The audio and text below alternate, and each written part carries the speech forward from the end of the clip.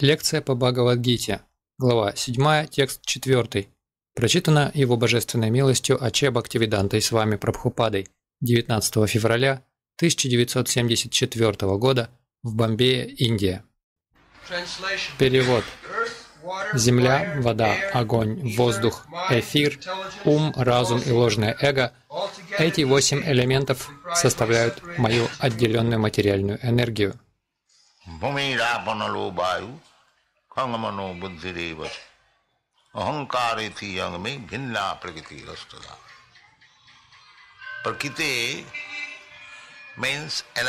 Пракрити – это энергия. Мы находимся в материальном мире. И наша материальная наука не идет дальше изучения материальной энергии Кришны. Физические законы, химические элементы, свет, звук – все это составляет область изучения для ученых. Но они не знают природу происхождения этих материальных элементов. В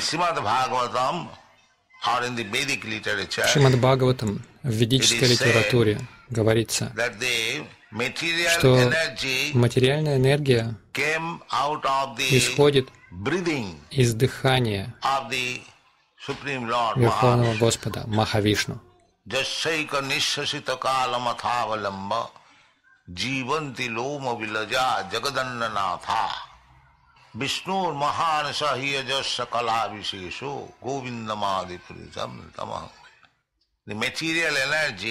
Материальная энергия выходит из дыхания Махавишну, возлежащего в Каране, причинном океане.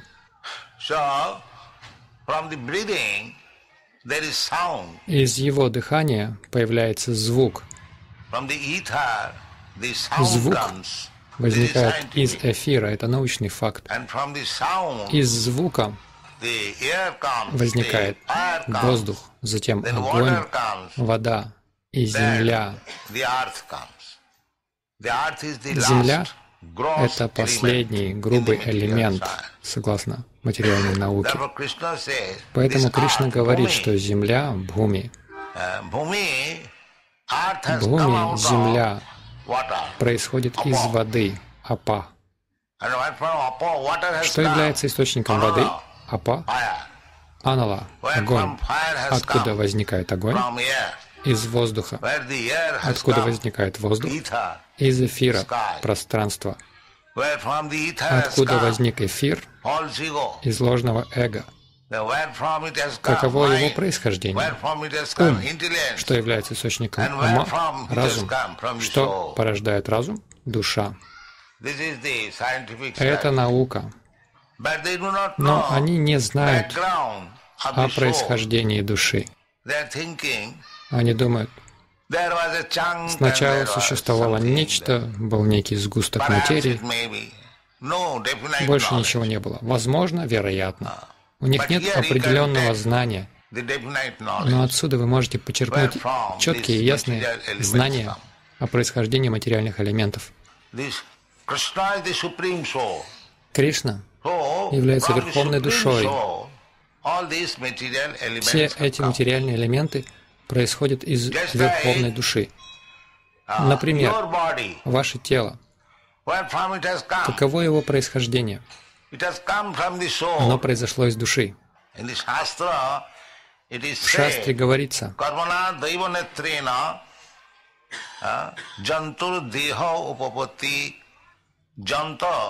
Джанта, джанту означает живое существо. Слово джанту.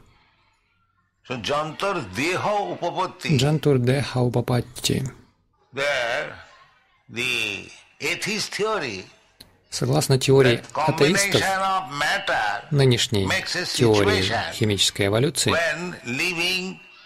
признаки uh, жизни возникают при определенном сочетании материальных элементов.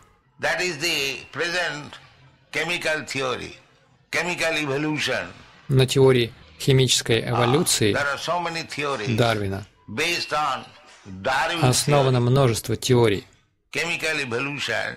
Recently, when I was in Los Angeles, Недавно, когда я был в Лос-Анджелесе, туда же приехал один немецкий ученый. Он написал книгу Chemical Evolution, «Химическая эволюция» и получил за нее Нобелевскую премию. Сейчас он ездит по миру, давая лекции по своей теории. В Калифорнийском университете работает один наш ученик, доктор Сваруб Дамадар. Он мой ученик и также доктор химических наук. Когда этот немецкий химик давал лекцию, теоретизируя о том, как из материи возникла жизнь, Сварупа Дамадара задал ему вопрос. Допустим, если я предоставлю вам все эти химические вещества, сможете ли вы получить жизнь? И тот ответил, этого я не могу сказать. Это говорит о том, что его знание не конкретно, но он все же теоретизирует о том. Что жизнь возникла из химических элементов. Нет, жизнь появляется не из химических элементов. Химические элементы возникли из жизни. Вот настоящая теория.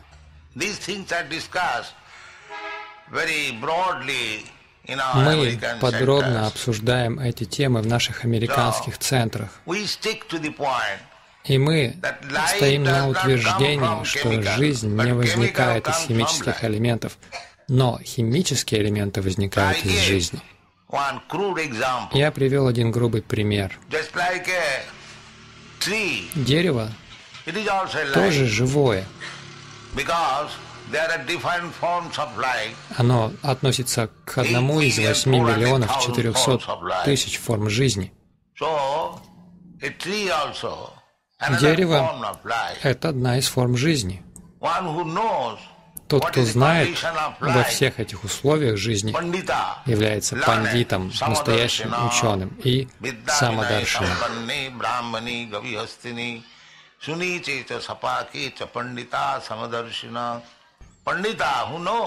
Пандит Тот, кто знает, что есть что. Такого человека называют самодарши, тот, кто относится ко всем одинаково. Он знает, что Сущность, находящаяся в дереве или собаке или в чандале, в человеке, в брамане или шудре.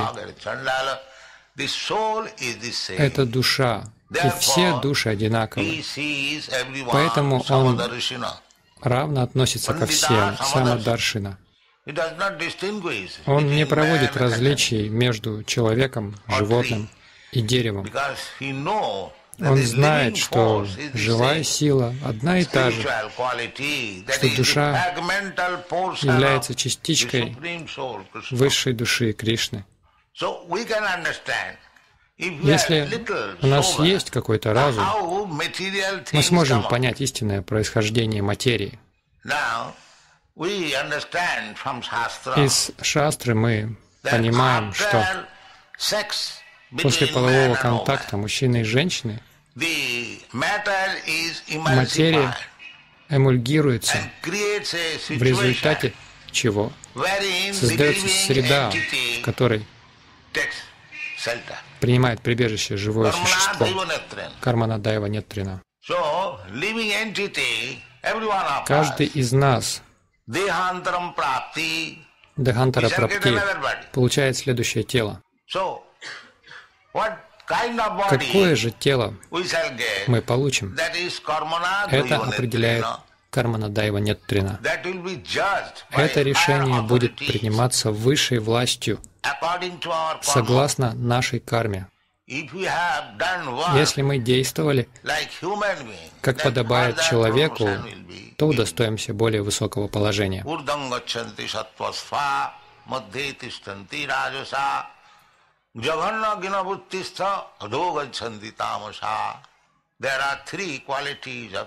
У материальной природы есть три качества. Тот, кто связывает свою жизнь с гуной добродетели, достигает высшей планетарной системы. Uh, Те, на кого влияет гуна страсти, останутся в пределах средней планетарной системы. Люди, ведущие себя из рук вон плохо, uh, Jaganna Гуна. Адхога confirmation. Здесь мы находим подтверждение Адхога down Они опускаются в царство животных, птиц, рептилий, uh, змей и так далее. are 8 million. Животные формы составляют 8 миллионов форм. Это дайвина, Netrena. Нет трина означает под наблюдением. За всем этим наблюдает Кришна.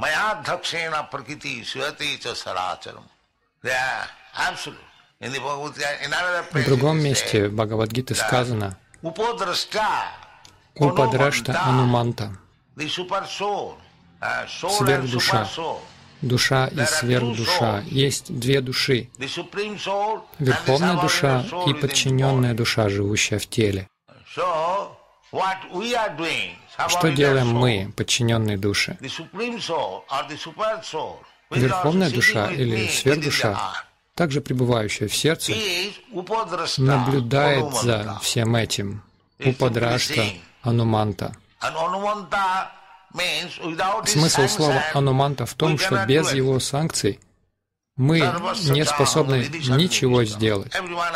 Сарваси. Чахам Хриди When you Сами want to Вишта. do А этот опыт есть у каждого. Если мы хотим совершить какой-нибудь неблаговидный поступок, мы слышим голос совести. Не делай этого. Нет, нет, я сделаю. И мы начинаем бороться с совестью. Это борьба между душой и сверхдушой. Если же вы настаиваете, я должен сделать это, тогда сверхдуша приказывает, хорошо, делай это на свой страх и риск. Вот что такое карма пхала. Мы становимся подверженными последствиям нашей кармы. Это называется кармана. Из-за своих действий by дайва the нет superior трина. И под недремлющим оком высшей власти Daivanetrena, дайва нет трина. jantar dehavapati. The living entity gets a type Живое существо получает определенный тип тела. Что представляет собой тело? Пять элементов.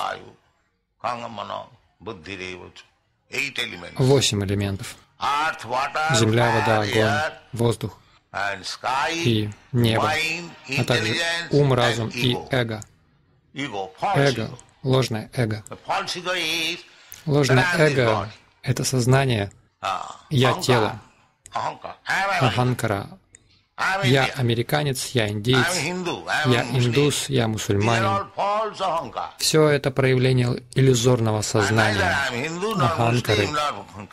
Я не индус, не мусульманин, не христианин, не американец, не индейец. Я живое существо.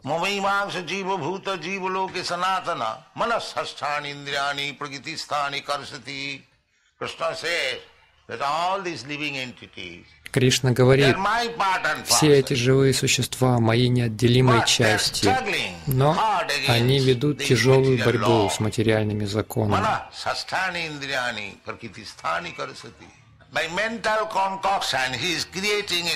Мы получаем такое тело, какое соответствует нашему образу мысли. В противном случае, откуда такое разнообразие тел? Они являются порождением нашего неугомонного ума. Я буду делать это, я буду делать то, это и то. Это Daivanetrena. дайва нетрина. He gets. Uh, Daivanetran by superior. Yeah, just like a child. Например, ребенок. Требует удовлетворения своего каприза. Отец говорит ему, не делай этого. Но ребенок настаивает, я должен это сделать. Хорошо, делай. Many Есть много таких примеров. Итак, Есть душа, есть грубое материальное тело и тонкое материальное тело. Душа является главным принципом, Uh, а тело, как я уже объяснял, образуется благодаря смешению двух секреций отца и матери и сначала имеет форму горошины. Семенем отца душа попадает туда, и тело начинает развиваться. Просто попытайтесь понять. Материя развивается благодаря присутствию вечной души. Если души нет, Ah, если ребенок мертв, развитие не происходит. Никакого развития. Тело мертвого ребенка никогда не развивается, это известно всем. Поэтому материальные элементы происходят из вечной души, а не наоборот. Это не так. Это ошибочная теория. Если бы душа появлялась благодаря сочетанию материальных элементов, тогда почему вы не можете произвести живое существо в лаборатории? В лаборатории это сделать невозможно. Creation Материальное творение возникает, потому что я пожелал этого. uh, circumstances. Я захотел находиться в такой атмосфере. И Ануманта, Верховный Господь, тот, кто дает свое дозволение на каждое действие, предоставляет мне возможность войти в тело той или иной матери, и тогда материя начинает расти. Истина состоит в том, что uh, энергия, Материальная энергия возникает из вечной души. Например, я уже говорил о химических элементах. Рассмотрите, к примеру, лимонное дерево. Это живое существо, и оно least производит по меньшей мере сотни фунтов лимонной кислоты в виде лимонов. Все об этом знают.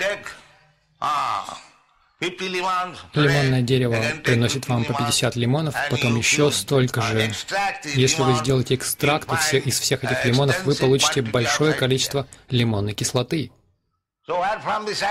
Откуда взялись все эти химические вещества? Благодаря живому существу, присутствующему в дереве. Поэтому вывод следующий. Жизнь. Порождает химические вещества.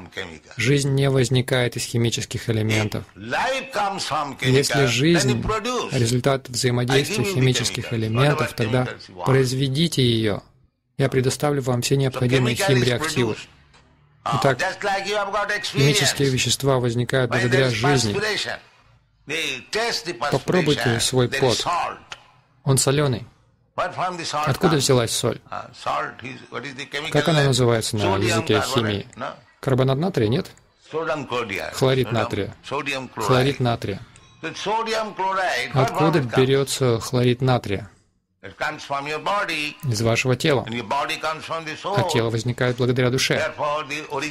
Поэтому изначальная причина хлорида натрия – это душа. Ваше тело или тело дерева или любое другое тело производит небольшое количество химических веществ. Представьте себе, сколько химических веществ может производить гигантское тело Кришны, Вират Пуруша. Поэтому uh, не думайте, что все это выдумки. Кришна говорит,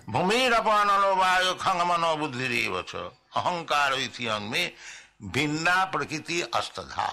These eight kinds of materials, gross and subtle, материальных элементов, грубых и тонких, составляют мою энергию. Она исходит из Кришны.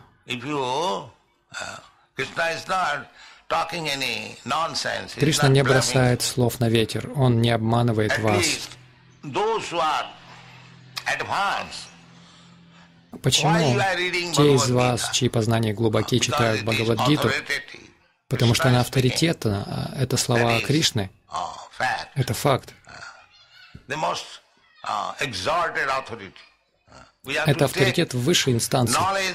Мы должны черпать знания из авторитетного источника. Мы не можем придумывать знания. Такое знание несовершенно, ибо несовершенно наши чувства. У нас есть четыре недостатка. Мы совершаем ошибки, мы попадаем под влияние иллюзий. Все знают, что мы ошибаемся. Я несколько раз говорил, что даже такие люди, как Ганди, совершали множество ошибок. Пока вы обусловлены материальными законами, вам не избежать ошибок. Мы также подвержены иллюзии. Иными словами, мы принимаем одно за другое. Например, вы считаете себя телом. Я американец, я индиец. Но вы не американец, не индиец. Это иллюзия. Вы душа, вечная душа. Брама Прамада Випралипса. Випралипса это склонность обманывать других. Мне неизвестно доподлинно о происхождении жизни, но я все же строю всевозможные теории на эту тему. Когда же мне бросают вызов, можете ли вы при помощи химических веществ создать жизнь? Я ничего не могу ответить. Тогда к чему весь этот вздор? Это обман? Если вы действительно знаете, что жизнь может возникнуть из химических веществ. Создайте ее. Я предоставлю вам нужные химические вещества. Но если вы не способны это сделать, зачем обманываете других? Однако у людей есть эта склонность. Человек сам отъявленный мошенник, обманщик, но учит при этом других. Если дьяволу понадобится, он прочтет Евангелие. Мы этого не признаем. В движении сознания Кришны мы не признаем писаний, произнесенных дьяволом. Поэтому мы признаем Кришну, Сарвакарана Карана. Мы признаем то, что Он говорит. Мы несовершенны, наши чувства несовершенны. Мы глупы, но знание, что мы признаем, совершенно. Вот что такое сознание Кришны. Поэтому мы не говорим ничего, что не было сказано Кришной. Ah, Такова наша квалификация. Несколько раз разные люди хвалили меня. С вами же вы совершили чудо. Я отвечаю, что во мне нет ничего удивительного. Я лишь следую Кришне. Как попугай я повторяю то, о чем говорил Кришна. Только и всего. У меня нет знания, но Кришна говорит это так, и я признаю это. И тогда это приносит нам благо. К примеру, если ребенок прислушивается к наставлениям родителей, он обретает знания. Родители не станут его обманывать. Если ребенок никогда не видел наручных часов, он спрашивает, «Отец, что это?» Отец может объяснить ему, «Мой дорогой сын, это часы, по ним ты можешь узнавать время, которое сейчас час». Это совершенное знание. Это знание совершенно. Поэтому в начале этой главы и четвертой главы мы говорили,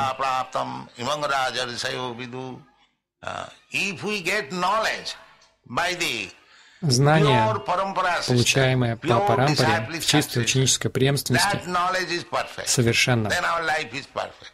И тогда совершенно наша жизнь uh, благодаря такому знанию.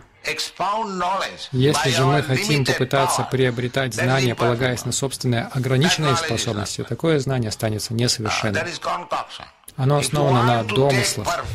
Если вы хотите совершенного знания, обратитесь к авторитету. Вам парампара. Таков путь обретения ведического знания.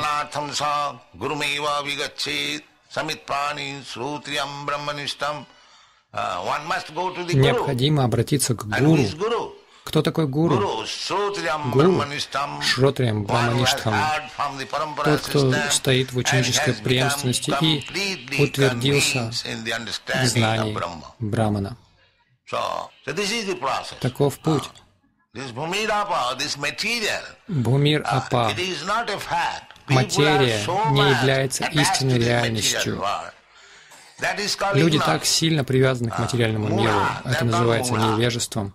Таких людей называют мудха, майя пахрита гьяна. Они утратили знания.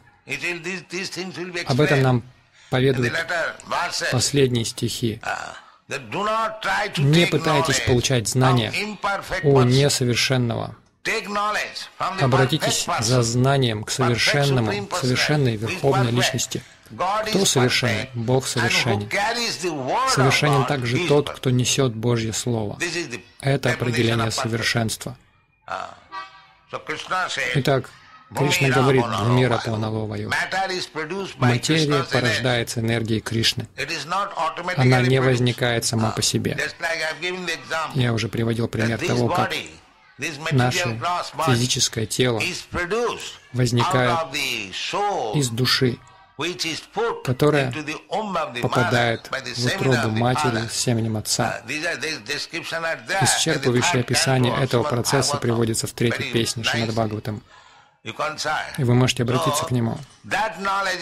Это знание совершенно, потому что экспериментально, а наука означает наблюдение и эксперимент. Если вы зачем-то наблюдаете, вы должны провести эксперимент. Гьянам вигьянам. Из предыдущих стихов мы уже узнали.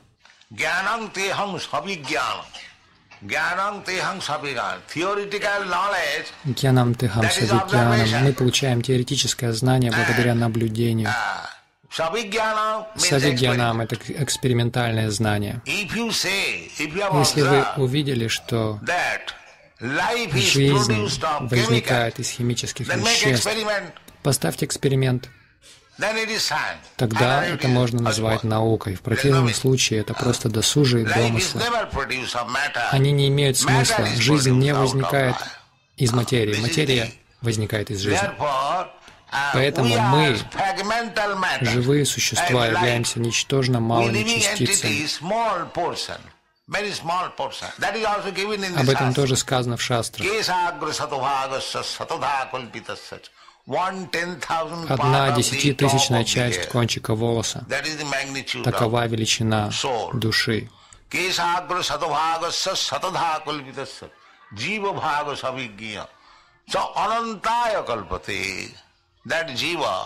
Джива, Ананта, бесконечно мала. Такова наша величина. Люди не могут разглядеть одну десятитысячную кончика волоса. Нет такого прибора, такого микроскопа, что позволил бы это сделать. Поэтому глупцы, не способные увидеть души и измерить ее по длине и ширине, заявляют, что она ниракара. Это не так. У души есть акара, но вы не в состоянии увидеть ее своими ограниченными чувствами. Как же тогда мне понять? Широтраем Брамаништам. Тадвигинатам Садурум Эвадуначет. Вы должны учиться слушая. Иного пути нет. Веды гласят, такова величина души. Вы должны признать это. Тогда вы поймете, в противном случае, если вы решите поставить так называемый эксперимент, то у вас для этого нет ни инструментов, ни возможностей. Пусть лучший медик или физиолог отыщет душу в теле, но они не могут. У них нет таких способностей. Тем не менее, существует нечто, в отсутствии чего тело мертво. Это факт.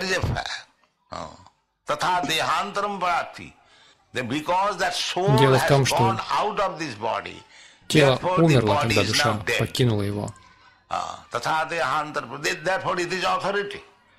В чем разница между мертвым и живым человеком? Вы должны это понять. Чтобы понять, почему тело мертво, нельзя прибегать к экспериментам. Но вы можете получить ответ, если обратитесь к Бхагавадгите. Бхагавадгита гласит, तथा देहांतर प्राप्ति धीरस्तत्व नमयति धीर Dhira Смерть не беспокоит истинно ученых и здравомыслящих людей, ибо они знают, что после смерти душа переселяется в другое тело. Точно так же, как она переселялась из младенческого тела в детское, из детского в юношеское, из юношеского в тело старика. Теперь же старое тело стало совсем непригодным. Подобно тому, как мы меняем старую одежду на новую, также, находясь в материальном мире, мы меняем материальные тела. Это называется переселением души, смертью и рождением. Если же вы обрели освобождение от обусловленной жизни, вы удостаиваетесь в своем духовном теле перенестись в духовный мир. В этом совершенство нашей жизни.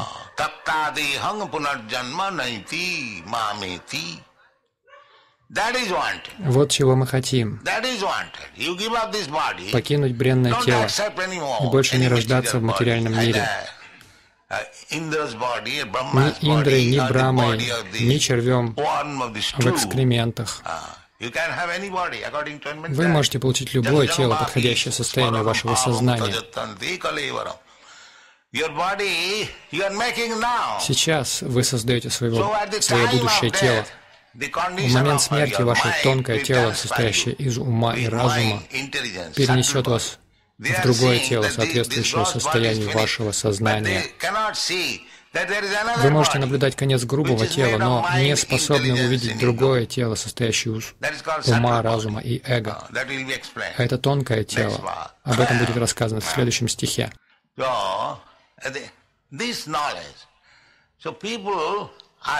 Люди сходят с ума по материальным наслаждениям. Они не знают, что материальное тело временно.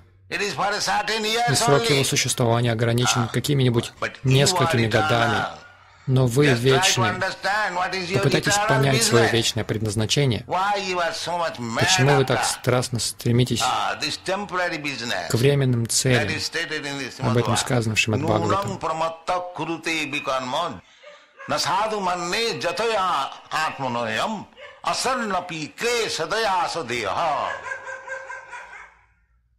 деха Клешада. Материальное тело. Клешада. То есть то, что причиняет нам бесконечные страдания. Клешада аса. Нам всегда следует помнить, у меня материальное тело, ah, которое страдает от жары, ah, холода, ah. Матра Сукха Дукха испытывает наслаждение и страдания. Почему? Потому что материальное тело.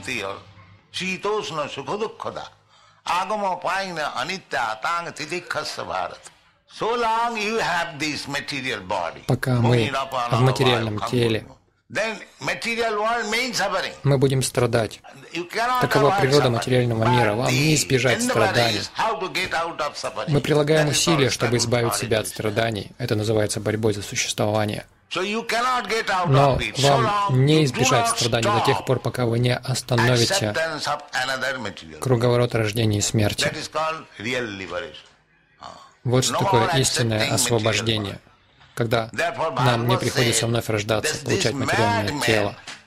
Поэтому Бхагаватам говорит, эти люди, безумцы, праматта, матта означает безумные, а пра, то есть пракришта рупена, совершенно безумные.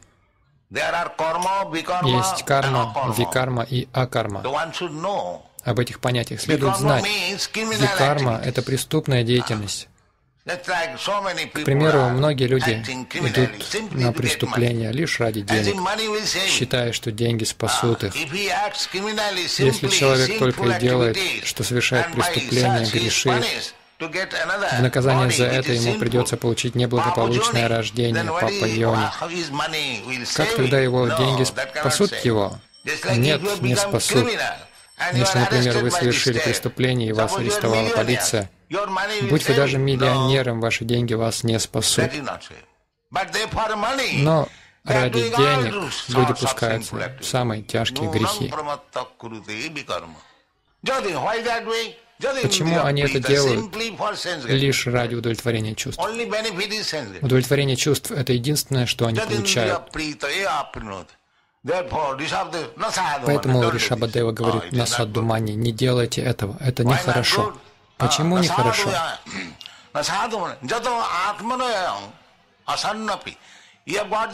Потому что из-за этого вам придется получать временное материальное тело, источник страданий. Поэтому не делайте этого, не делайте ничего, что заставит вас вновь рождаться в материальном мире. Таково совершенство жизни. Это сознание Кришны. Спасибо вам большое.